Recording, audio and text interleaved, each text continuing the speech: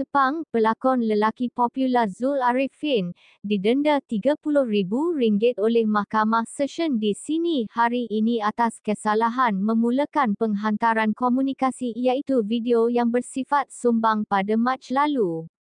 Hakim Noor Hisham Mohamad Jaafar menjatuhkan hukuman itu kepada Zul Arifin atau nama sebenarnya Zulkifli Arifin, 36, selepas aktor berkenaan mengaku bersalah terhadap pertuduhan yang dibacakan kepadanya.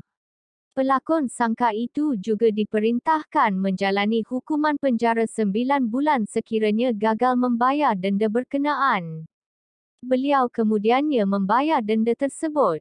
Pendakwaan ke atas Zul Arifin dikemukakan mengikut Seksyen 233 1A Akta Komunikasi dan Multimedia 1998 Akta 588 yang boleh dihukum di bawah Seksyen 233 3 Akta sama.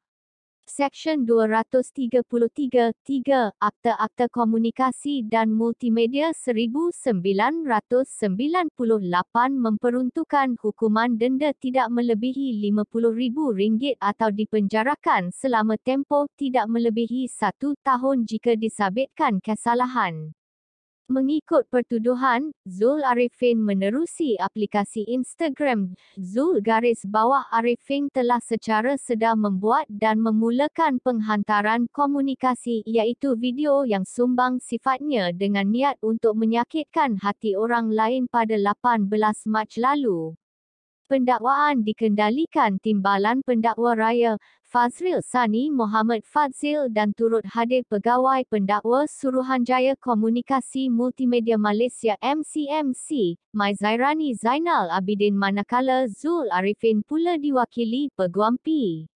Sivaram dan M. Sarish. Terdahulu, Sarish memohon agar anak guamnya dikenakan hukuman yang minimum memandangkan beliau menanggung dua ahli keluarga iaitu bapa berusia 74 tahun dan seorang kakak berusia 48 tahun selain kesalahan berkenaan adalah kali pertama dilakukannya. Menurut Sarish, anak guamnya juga telah mengaku bersalah selain berasa kesal dengan tindakan memuat naik video berkenaan dan insiden itu secara langsung memberi kesan mental kepada diri anak guam serta keluarganya. Ujar beliau, anak guamnya adalah seorang pelakon yang banyak menyumbang kepada industri seni negara termasuk pernah memenangi beberapa anugerah berprestij. Bagaimanapun, Fazril Sani dalam hujahannya meminta tertuduh dikenakan hukuman yang setimpal dengan kesalahan agar menjadi pengajaran kepada orang ramai untuk tidak melakukan kesalahan yang sama selain mencerminkan ketelusan parlimen dan undang-undang dalam menguatkuasakan Seksyen 233 AKMM 1998. Cosmo, pada 23 Mac lalu melaporkan, Menteri Komunikasi dan Multimedia, Tan Sri Anwar Musa menerusi ciapan di Twitter memaklumkan pelakon tersebut akan dipanggil oleh pihak berkuasa dan disiasat mengikut Seksyen 233 Akta Komunikasi dan Multimedia KMM.